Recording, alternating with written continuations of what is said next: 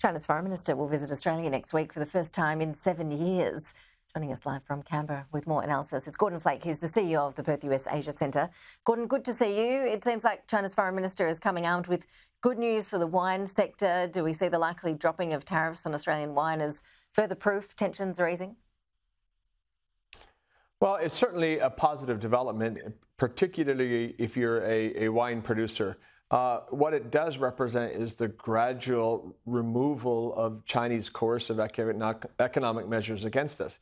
I don't know that it means they're resolved because they were applied without what we would call the rule of law, applied without cause for political reasons, and now they're being removed for political reasons. So it's not exactly what trade specialists would call WTO compliant, but certainly a positive development.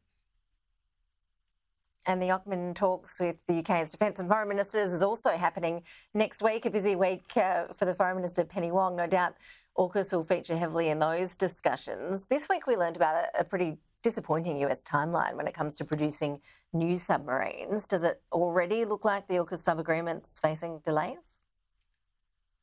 No, I, I, wouldn't be overly concerned about that yet. Uh, um, there has been over the last year a, a, a, lot of kind of false alarms. You saw some very important senators in the U.S. Senate Armed Services Committee express their concern about U.S. production capabilities, and this is part of an ongoing process on that.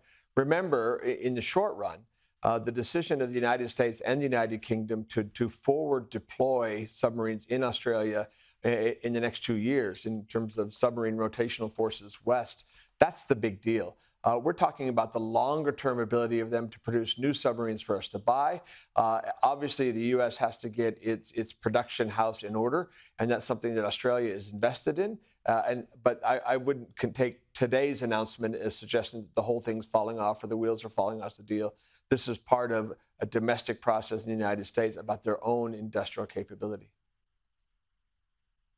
We've seen round after round of primaries in the US. Of course, uh, Americans heading to the polls in November this year. Joe Biden, Donald Trump set to face off again. Polls are showing that Americans are pretty unhappy with those two as, as the options.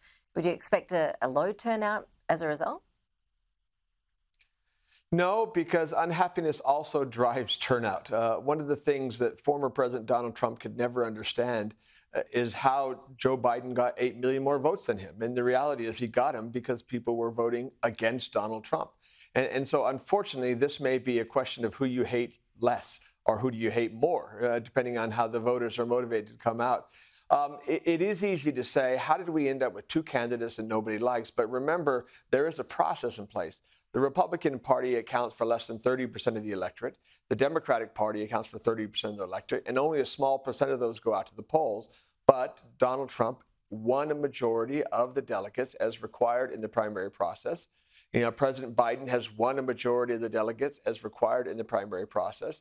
But it's not a surprise, and it shouldn't be a surprise, that when you add the entirety of the other party and then the larger percentage of 40% of independents, they're unsatisfied. So both candidates are going to be unsatisfactory to the broad majority of the Americans, but satisfactory to a majority of their voters. Uh, one way or the other, though, elections are about choices. And by the time we get to November of 2024, uh, it, there will be a choice. And that choice is going to be not necessarily who inspires you more, but who frightens you more. Gordon Flake, always appreciate your analysis. Thank you. My pleasure. Thank you.